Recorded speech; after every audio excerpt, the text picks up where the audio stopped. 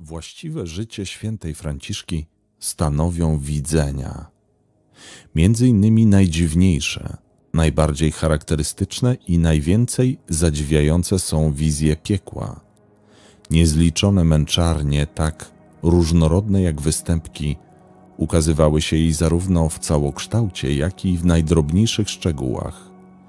Widziała, jak szatani wlewali w gardła skąpców potoki roztopionego złota i srebra. Widziała wiele szczegółów dziwnych, przerażających. Widziała hierarchię szatanów, ich czynności, męczarnie i zbrodnie, do których pobudzają. Widziała oddanego pysze Lucyfera, wodza pysznych, króla szatanów i potępionych a król ten cierpi stokroć gorzej niż jego poddani. Piekło podzielone jest na trzy części: wyższe, średnie i najniższe. W głębi piekła najniższego przebywa Lucyfer jako powszechny władca. Podlega mu trzech rządców, postawionych nad wszystkimi innymi.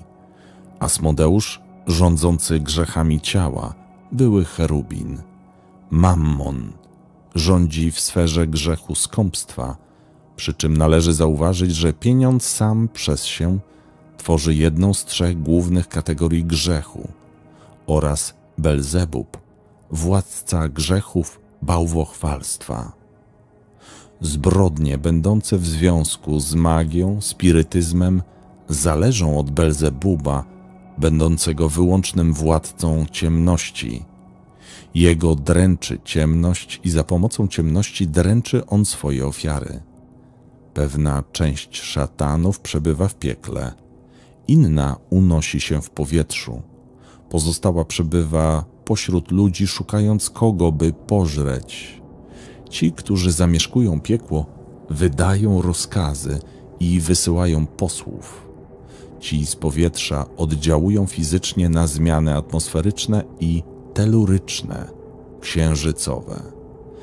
Zawsze wierni zieją swym zgubnym wpływem i zatruwają powietrze fizycznie i moralnie. Głównym ich zadaniem jest osłabienie duszy. Skoro szatani ziemscy ujrzą duszę osłabioną działaniem duchów napowietrznych, napastują ją w tym osłabieniu, by ją tym łatwiej zwyciężać. Atakują ją w chwili, w której zaczyna wątpić w opatrzność. Duchy powietrza są głównymi sprawcami tego grzechu, a skoro ten duszę osłabi, szatan ziemski usiłuje ją przywieść do upadku. Naprzód, skoro ją osłabi zwątpienie, popycha ją ku pysze, w którą wpada, tym łatwiej im jest słabsza. Skoro pycha zmniejszyła jeszcze odporność duszy, podsuwa jej grzechy ciała skoro te ją jeszcze więcej osłabią, napastują duszę grzechy chciwości. A gdy odporność duszy zostanie jeszcze zmniejszona, przychodzi szatan bałwochwalstwa, który dopełnia ostatecznie i kończy to, co tamci rozpoczęli. Wszyscy w zgodnym porozumieniu pracują dla zła, a oto prawo upadku. Każdy grzech w którym trwamy, pociąga za sobą inny grzech, a bałwochwalstwo, magia, spirytyzm oczekują na dnie otchłani tych, którzy z przepaści w przepaść tę, zsuwając, stoczyli się w całkowitą otchłań. Cała hierarchia niebieska sparodiowana jest w piekle. Żaden z szatanów nie może kusić duszy bez pozwolenia Lucyfera.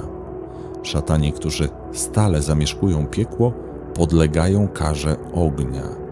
Ci, którzy unoszą się w powietrzu lub żyją pod ziemią, nie cierpią wprawdzie od ognia, ale znoszą inne męki, z których najcięższą jest widok dobra, które spełniają święci.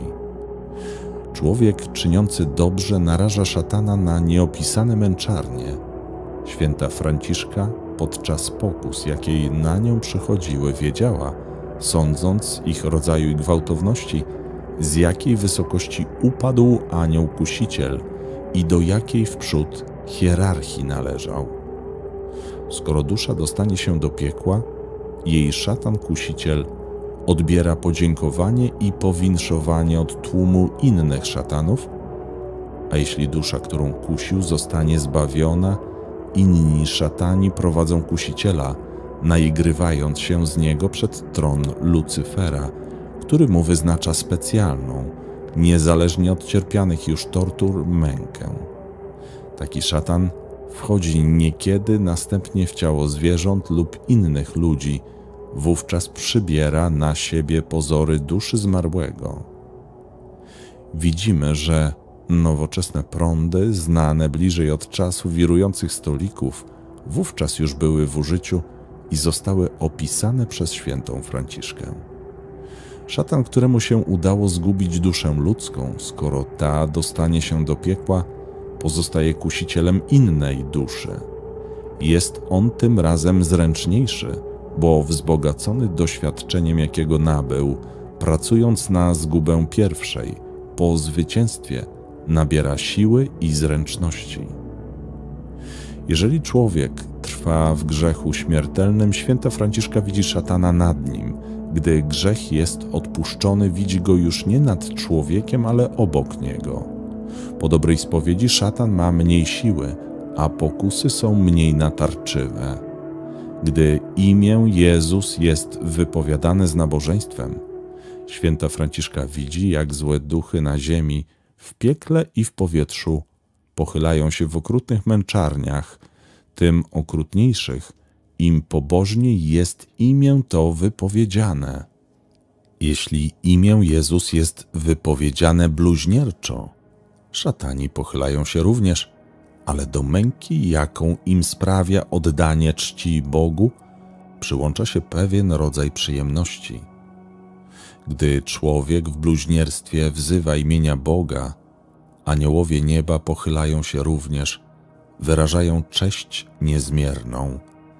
Tak więc człowiek, którego usta poruszają się tak łatwo i tak lekkomyślnie wymawiając straszliwe imię, nie domyśla się nawet, iż dźwięk jego głosu we wszystkich światach wywołuje tak nadzwyczajny skutek i budzi echa, których siły i ważności nie domyśla się nawet mówiący to na ziemi.